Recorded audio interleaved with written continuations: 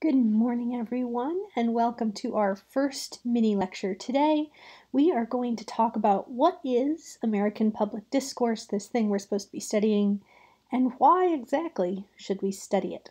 Uh, this is uh, all my own notes, but I am drawing heavily on a book from one of my mentors. It is American Rhetorical Discourse by Ronald Reid and my mentor James Klumpp. Uh, that is one of the suggested books for this course. Uh, it was not required, but if you want to follow along, I do draw heavily on the introduction to that book um, even though these are my expanded and revised ideas from it. So let's go ahead and jump right in. What exactly is American public discourse? So I define it in four parts. It is communication that frames the subject addressed as a concern of the community defined as American. And again, that's a little bit dense, so I think it's helpful if we break that down and I give you some additional notes about each of these four parts. I do suggest pausing the video and taking notes as we go through these, not just writing down what I have. Obviously, you can go back and watch the video, uh, but taking notes in your own words. Translate this into how you'll look at the speeches, how you'll study. Uh, so make sure that you're doing that. Feel free to pause the video as we move through each of the four parts of the this definition. So we begin with communication. And I think the first thing that's important to note is that communication is a contested subject within the field of rhetoric. What communication actually counts as public discourse. Uh, so some scholars will argue that it is really only speeches, uh, that speeches, especially face-to-face speeches, are the primary means of public address. Uh, I don't know about you, but I grew up in the age of the internet. I've never actually been to a political speech. I've watched them on television, or seen what they tweeted, or listened to them on a YouTube video later. Uh, so I tend to think of communication much more as discourse which addresses a public. Uh, so any communication from uh, a, a, tweet to half a million followers up through a presidential uh, inaugural address. Uh, and I tend to see any of that as uh, communication um, that is relevant to American public discourse. And you'll see why as we get later in the definition. I'll circle back around to this a little bit, but do keep that in mind. Presentation versus reception is another big uh, conundrum that vexes communication and rhetoric scholars. Uh, do we care about whether it is presented as public discourse or whether it is received as public discourse? I don't have a favorite answer on this one. I'm very pragmatic. Whatever uh, is justifying the text that I really want to study, that's the one that's important to me at that time. Effects are another big important one. Should we pay attention to whether or not something actually happened after the speech or not? Uh, that, though, raises questions about who we're listening to because obviously if a president or prime minister or senator says something, there's much more likely to be an effect immediately after because they have the force of law behind them. Whereas if I say something, or your mom says something, or your pastor says something, it's less likely to have an immediate instrumental effect because of the power differential. So I don't necessarily think about effects as vital to communication. Uh, and then, as I mentioned, speeches versus all of the other forms of communication. Speeches tend to be the traditional things uh, that is that have happened. They tend to be the traditional things that we will study in this class. I won't limit us to speeches. There are other things that have become part of public discourse that we will study, um, but obviously sermons and presidential speeches and things that were where someone stood up at a podium and gave a lecture to a crowd um, were a primary way of talking to people uh, for a lot of years. So we will study a number of those, but keep in mind that not everything that is public discourse is a speech. So the first part of that definition is communication. The second part is that frames the subject addressed. And here there's a few important things to think about. Can any subject be the subject of public discourse? You might immediately say, well, yeah, of course, anything could, or no, there are lots of things that wouldn't be the subject of public discourse. But I would challenge you on both counts. For instance, you might think, well, somebody's sex life wouldn't be public discourse, and I would show you to Bill Clinton. Or you might think, well, of course, anything can be part of public discourse, and I will ask how much you have heard recently about presidential dental hygiene.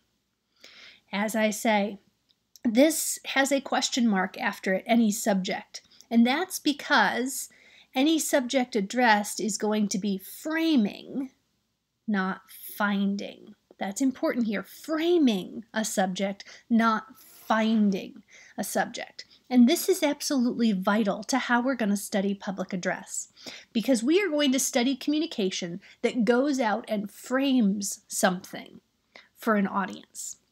That is, these issues don't just exist out in the world and then some speaker stumbles upon them like a fossil finder. Instead, the speaker frames an issue, comes to the speech with goals, ideas, uh, maybe machinations of some kind, but they frame their subject addressed. And that means that rhetoric, the kind of rhetoric that we're studying here, is constitutive. That means it is shaped and shaping. Write that down. Constitutive is a word you are going to hear me say lots and lots. In these videos, in our mini lectures, in the class prep that I ask you to do in our in-class discussions, we are going to talk about constitutive rhetoric. It means rhetoric that shapes and is shaped. Now, this means that we create things in our world through rhetoric. We frame subjects to be important. We uh, identify things that are meaningful to us. And we build those things. They don't just exist out there for us to go and find. We, as speakers, and the speakers that we will study, make decisions on how to constitute or create the world around them.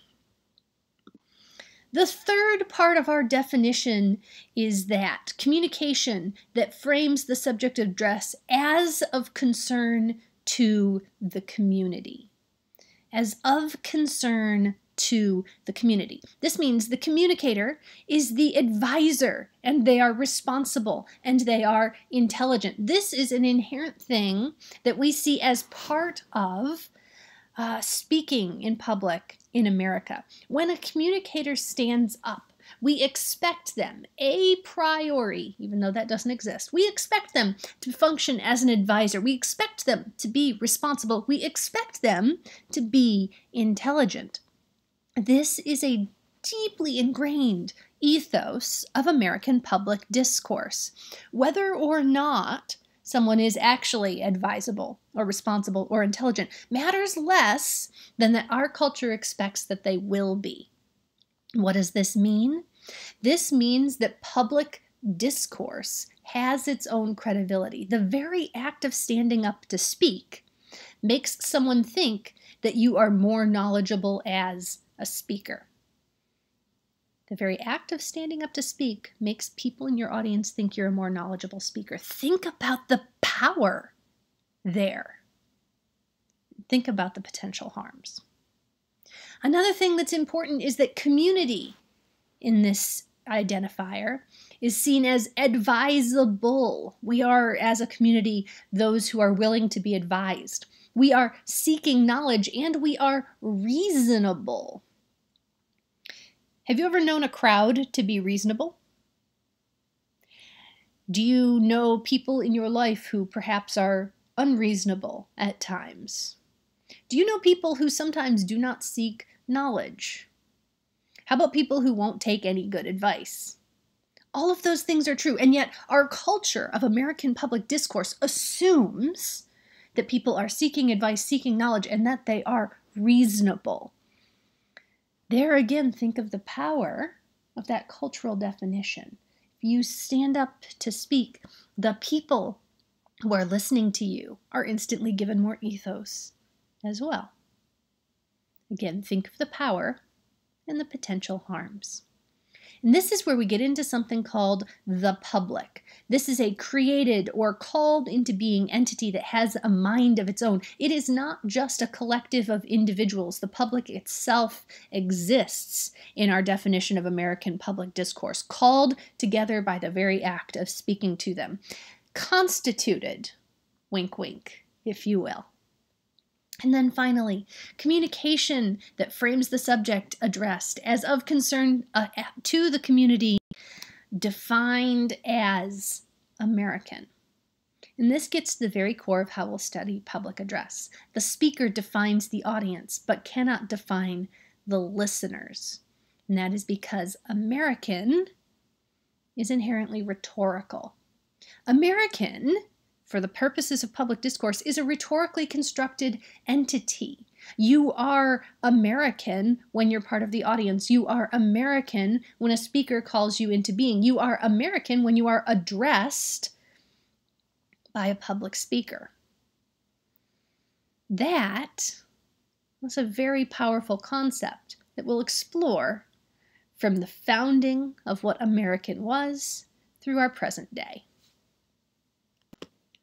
okay, cool, Dr. Styer, but like, um, so what?